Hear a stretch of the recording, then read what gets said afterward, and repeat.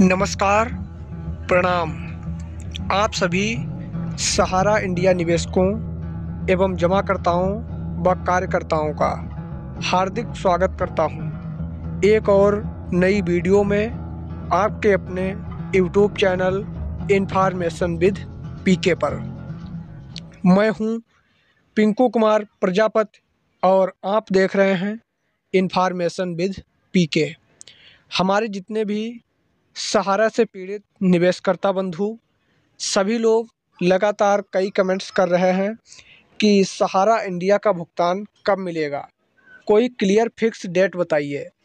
और साथ ही साथ सहारा बंधु, सहारा रिफंड पोर्टल की ओर से एक काफ़ी बड़ा अपडेट आया हुआ है। आप सभी निवेशकर्ताओं के लिए, आप में से जिन लोगों ने भी सहारा रिफंड पोर्टल पर अपना आवेदन किया है क्लेम किया है और आपका पैसा अभी तक नहीं मिला हुआ है।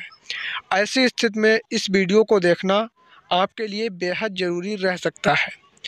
देखिए दोस्तों, सहारा रिफंड पोर्टल से जो अपडेट आई हुई है, उसकी चर्चा मैं इस वीडियो में करने वाला हूँ। हमारे पास बहुत से डीएम आते रहते हैं, बहुत से मैसेजेस आते रहते हैं, बहुत से कमेंट्स आते रहते हैं, उन्हीं के माध्यम से मैंने सोचा आज की इस वीडियो को आप सभी लोगों को शेयर करूँ। तो बने रहिएगा वीडियो में अंत तक। वीडियो काफ़ी इम्पोर्टेंट एवं खुशखबरीदार रहने वाला है। जैसा कि आप लोगों ने हमारी वीडियो का थंबनेल और टाइटल देख ही लिया होगा। उसी के अकॉर्डिंग आज का पूरा वीडियो रहने वाला है। और हाँ साथ ही साथ आप लोगों को बता दें, आप में से जिन लोगों का भी भुगतान पोर्टल के माध्यम से फ़र्स्ट फ़ेज़ में या सेकेंड फ़ेज़ में हुआ है और थर्ड फ़ेज़ के लिए आप लोग इंतज़ार कर रहे हैं। तो उनके लिए भी आज का वीडियो इम्पोर्टेंट रहने वाला है। हमारे पास परसों की डेट में एक कमेंट्स आया हुआ था कि थर्ड फ़ेज़ का भुगतान कब होगा।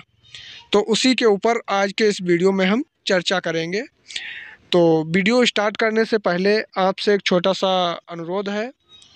यदि आप हमारे यूट्यूब चैनल पर वीडियो पहली बार देख रहे हों या पहली बार विज़िट किए हों तो प्लीज़ चैनल को सब्सक्राइब कर लें और बेल आइकन को प्रेस कर दें, ताकि हमारी आने वाली समस्त वीडियो का नोटिफिकेशन सर्वप्रथम आपके पास पहुँच सके। तो सहारा बंधु, हम आपका समय न वेस्ट करते हुए सीधे वीडियो को यहीं से हम स्टार्ट करते हैं दोस्तों।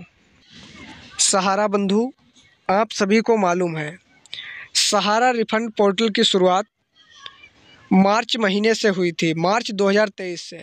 सभी को मालूम है, मार्च 2023 से माननीय सहकारिता मंत्री या कह सकते हैं गृह मंत्री अमित शाह जी के द्वारा सहारा रिफंड पोर्टल लाया गया था।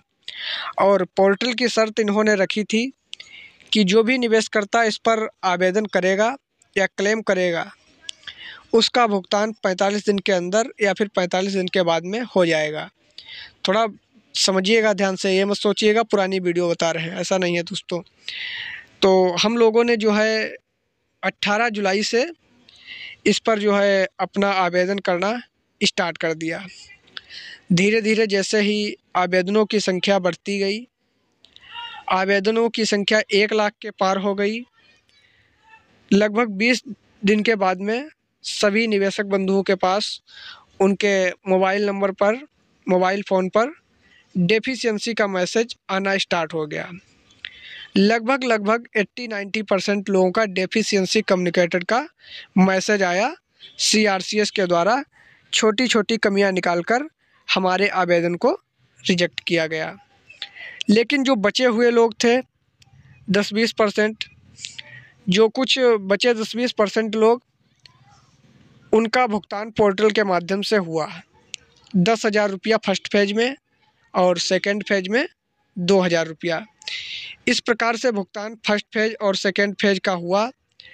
जिन लोगों का फ़र्स्ट फ़ेज़ और सेकेंड फ़ेज़ हो गया है थर्ड फ़ेज़ के लिए इंतज़ार कर रहे हैं। हमारे पास एक भाई साहब ने कमेंट भी किया था कि थर्ड फ़ेज़ वालों का भुगतान कब होगा। तो दोस्तों, आपको बता दें, आप में से जिन लोगों का अभी थर्ड फ़ेज़ का भुगतान नहीं आया हुआ है थर्ड फ़ेज़ का इंतज़ार कर रहे हैं तो आप लोगों को मैं बता दूँ, आपका थर्ड फ़ेज़ का भुगतान आपको कब मिलेगा? देखिए सहारा बंधु, आपका थर्ड फ़ेज़ का भुगतान चुनाव से पहले नहीं मिल पाएगा। साफ़ साफ़ सहारा रिफंड पोर्टल पर लिखा हुआ है। चुनाव से पहले अब भुगतान मिलने की कोई भी उम्मीद नहीं है। जो है, चुनाव से पहले भुगतान मिलने की कोई उम्मीद नहीं है। हाँ ये है कि जिन लोगों का डेफिशिएंसी कम्युनिकेटेड हटा है, बहुत से लोगों का डेफिशिएंसी कम्युनिकेटेड हटा है। जिन लोगों का डेफिशिएंसी कम्युनिकेटेड हटा है, यानी कि क्लेम प्रोसेस में लग गया है, उनका भुगतान जल्द ही होने वाला है। जिन लोगों का क्लेम प्रोसेस लगा है, उनका भुगतान होने वाला है। और जो लोग थर्ड फ़ेज़ के लिए इंतज़ार कर रहे हैं, वो लोग भैया थर्ड फ़ेज़ के लिए इंतज़ार न करें। क्योंकि चुनाव से पहले कुछ होने वाला नहीं है। आचार संहिता लगी हुई है। लगातार चुनाव प्रचार प्रसार हो रहा है। तो इस कारण से थर्ड फ़ेज़ वालों का भी भुगतान नहीं होगा। और जो है दोस्तों, आप लोगों का भुगतान तो फंसा हुआ है और भाजपा कार्यालय से फ़ोन भी आने लगे हैं। निवेशकर्ताओं के पास, आम जनता के पास अपने अपने विकास की योजनाएँ बता रहे हैं। इससे आपको लाभ हुआ या नहीं? तो हमारे बहुत से निवेशक बंधु उनसे सवाल करते हैं कि, सर्वप्रथम हमारा ये मुद्दा है सहारा इंडिया मामले का। इसमें बहुत सी गरीब जनता फंसी हुई है। इसके भुगतान के बारे में कोई भी निर्णय नहीं हो रहा है। सरकार एक भी परसेंट नहीं सुन रही है। तो हम लोग क्या करें? जब तक हम लोगों का भुगतान नहीं, तब तक हम लोग करेंगे मतदान नहीं। इस प्रकार से साफ़ सीधा जवाब दे रहे हैं, जैसा कि हमने प्रीवियस वीडियो में आप सभी को बताया भी था। दिखाया भी था एक वीडियो क्लिप के माध्यम से। जिन लोगों ने देखा होगा तो उनके लिए अच्छी बात है, जिन लोगों ने नहीं देखा है, वो लोग जा कर के प्लेलिस्ट में ऑलरेडी वीडियो बना हुआ पड़ा है, आप लोग देख सकते हैं। तो इस प्रकार से आज की इस वीडियो को हम आप लोगों के समक्ष लेकर के आए हुए थे। जो सहारा रिफंड पोर्टल से अपडेट आती रहती है, उसकी जानकारी मैं आप सभी को देता रहता हूँ। तो वीडियो कैसी लगी, कमेंट बॉक्स में ज़रूर लिखें। और बहुत से हमारे ऐसे निवेशक बंधु हैं, कुछ लोग वीडियो आधा अधूरा देखते हैं और स्किप कर कर वीडियो देखते हैं। वीडियो समझ में नहीं आता है तो निगेटिव कमेंट्स कर कर चले जाते हैं। आप लोग ऐसा मत कीजिएगा, वीडियो समझ लीजिएगा पूरा, उसके बाद में कमेंट्स करते खैर, मैं आपकी बातों से नाराज़ नहीं होता हूँ। और जो है, हम अपनी वीडियो को भी यहीं पर एंड करते हैं। और मिलते हैं फिर नेक्स्ट नए वीडियो में, नए टॉपिक के साथ। तब तक के लिए आप सभी को जय हिंद। नमस्कार दोस्तों। जय जवान, जय किसान।